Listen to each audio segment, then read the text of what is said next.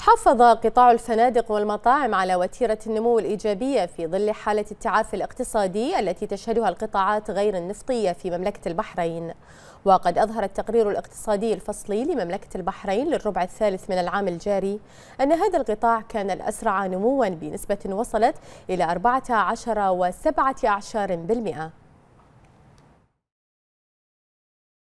مؤشرات مبشرة تلوح في أفق القطاع الاقتصادي الذي عنته البيانات الأولية بالإشارة إلى نمو الناتج المحلي الإجمالي للأنشطة الاقتصادية غير النفطية بالأسعار الثابتة بنسبة 4.9% بالمئة خلال الربع الثالث من العام الجاري على أساس سنوي. لتنوه البيانات أيضا أن تلك الأنشطة غير النفطية سجلت ارتفاعا بنسبة النمو بالأسعار الجارية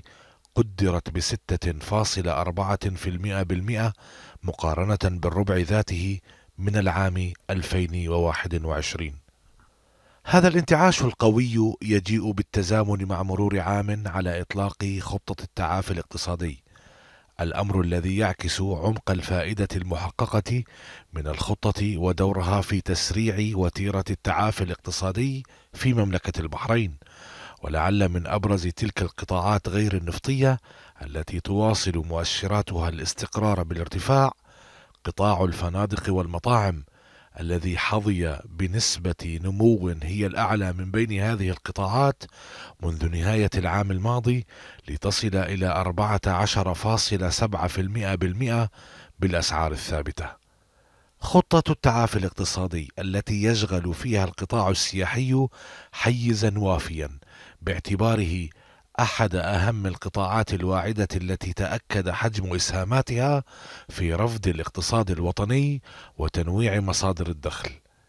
تنسجم معها استراتيجية قطاع السياحة 2022 2026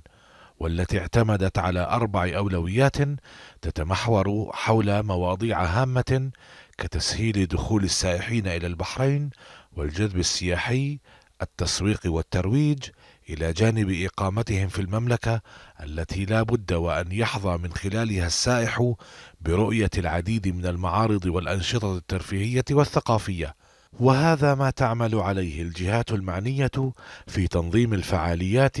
وإطلاق جملة من المشروعات السياحية وعودة نشاط السياحة المعارض والمؤتمرات التي تنعكس ايجابا على ارتفاع نسبة إشغال الفنادق والمطاعم